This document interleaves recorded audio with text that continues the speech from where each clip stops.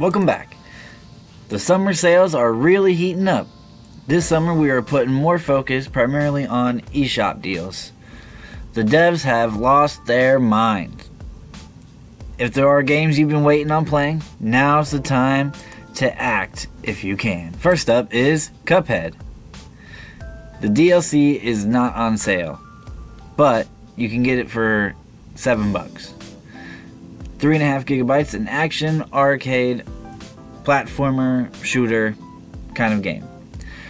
One to two players. Fair warning though, this game is hard. It may end up being one of the hardest games you have ever played. No, I'm not kidding either. Inspired by cartoons from the 1930s, the gameplay is. Hard to believe we're coming up on 100 years of that decade. It's a run and gun style of game with weapon power ups and super moves. Also, just want to tell you that these games all go off of their sale on June 6th, so you have about a week to decide on what you want to get and don't want to get. If you like content like this, we'll be doing a lot more of this. So, give a like and subscribe as it really helps out the channel. Alright, let's get to the video.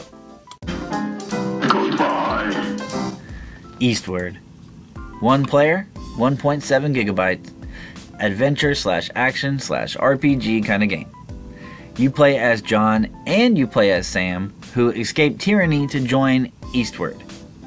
You'll solve puzzles, you'll fight enemies, and you'll uncover many other things about this world that you are living in.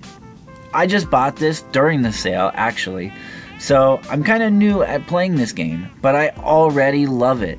The story is great so far, and the story does mean a lot to me in games. I highly recommend this one, even though I just started playing it.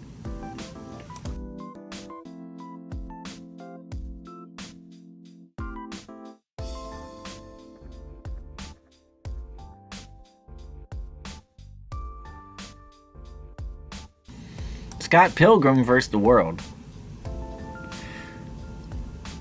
1.1 gigabytes. Action slash fighting game. Yeah, it's a beat 'em up, and some say it is one of the best beat 'em ups that has ever been made. I do not think it is exactly the best, but one of, yeah, I can definitely entertain the notion. Regardless, for $5, this is pretty much a must buy. 1 to 4 players, 2 to 4 players online.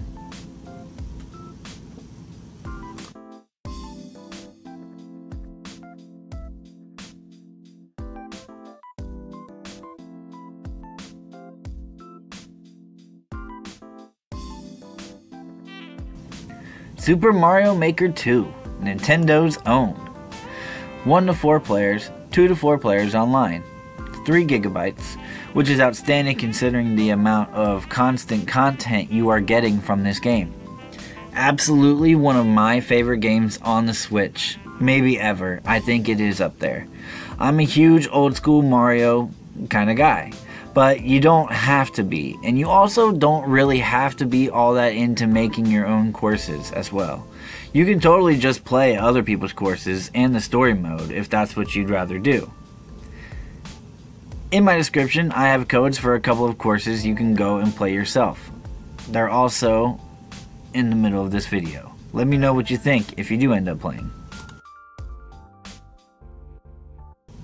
Star Wars The Force Unleashed. 1 to 2 players, 3.4 gigabytes, an action slash adventure kind of game. I mean, it's Star Wars. You play as a player who is forced to join the dark side as Darth Vader himself finds you and turns you into his apprentice. A secret apprentice not even the Emperor knows about. I can't 100% speak for other Star Wars games that have also been released this year on the Switch, but this one has ran just fine for me. And also, duel mode. You can use all kinds of Jedi and Sith to duel your friends or online, and it is a lot of fun. Just the duel mode itself is a lot of fun.